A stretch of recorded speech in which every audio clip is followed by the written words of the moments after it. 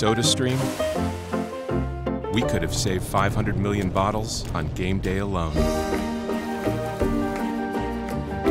If you love the bubbles, set them free.